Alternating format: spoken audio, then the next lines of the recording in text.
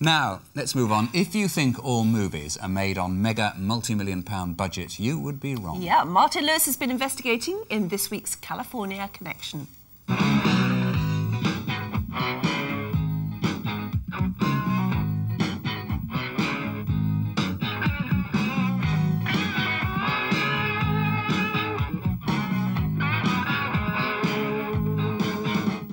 Morning, Anne and Nick. Martin Lewis here in LA's favourite beach community, Malibu.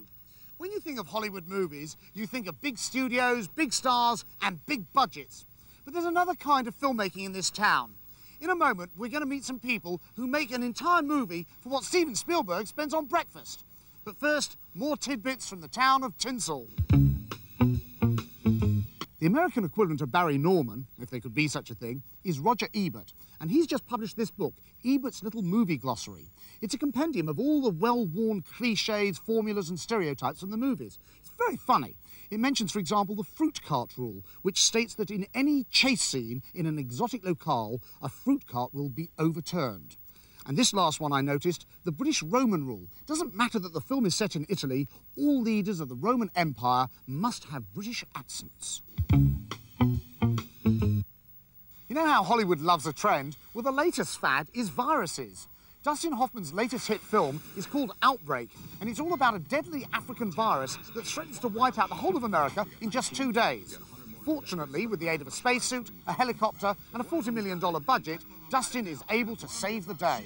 We have a very interesting problem. Movies such as Outbreak give a whole new meaning to the phrase spare no expense. For example, the producers took over a whole town in Northern California to shoot some scenes. But of course, not all films are made that way. At the other end of the spectrum are filmmakers who take over their own houses to use as low budget film sets. Producers of B movies such as Century Film Partners. Century specialise in low budget action movies that usually go straight to video. Films with all the formula ingredients cars, bombs, romance, macho film titles. What do you think of the title, Blood Vengeance? I think it may be just a little too in your face. If you have a building explode, you must always see it explode from several different angles, often in slow motion. Tell me about that. Absolutely. Why is that? Uh, because if you're going to spend the money to blow up a building, it's something you've spent a lot of money on, and you really want to milk it for every bit that you can. Roger Ebert's book might label these scenes as cliches, but then these films cost just a fraction of the average $30 million that the big studios spend. We run around and do most of the parts ourselves. Right, yeah. No.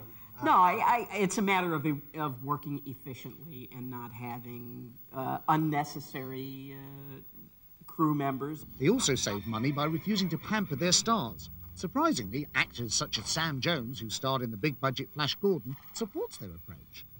If we just spend the money on the necessities, then I think everybody will be happy. But once you start showing favoritism, and you know, once that actor has to have that size motorhome, then the other actor wants that. And why didn't I get that? And then next thing you know, it, it's, it's not about making movies. It's about greed and, and me, me, me, me, me, what I want. Of course, many big stars started in low budget movies Schwarzenegger, Jack Nicholson, Demi Moore, and Jamie Lee Curtis. So, will Century's latest acting discovery, Tonya Harding, the notorious skater, be moving on to better things? She's a great athlete and a great person, but uh, as far as cameras and, and filmmaking, she had no idea. So we, we worked her out on that and, and uh, made her look really well. I don't expect much from you. I was kind of going, oh boy, here we go. Tonya, be nice to me. She didn't go for your legs. no, no, she didn't. A low budget film can't afford to shoot a fleet of helicopters like the ones seen in Outbreak, so how do they create mayhem on a shoestring? In our range, we got two cars and one we can't hit. So they said, give me a give me a speed or give me a lethal weapon, and uh, but don't scratch the cars, and can you have it done by lunch?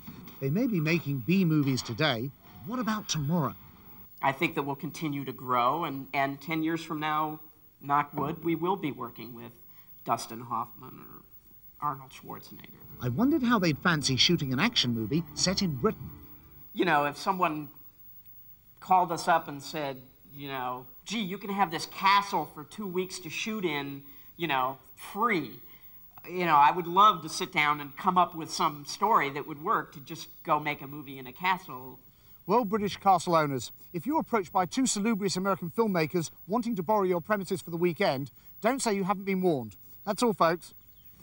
Martin, Cheers, thank you very much. Do you see that blue sky? Didn't it look nice? It did, And that man was called Munchkin. Do we have any Munchkins in Britain, do you think? Uh, no, I don't really know. Do I'm let afraid us it's know. A very difficult 0121 question, 415 5000 if you are a Munchkin.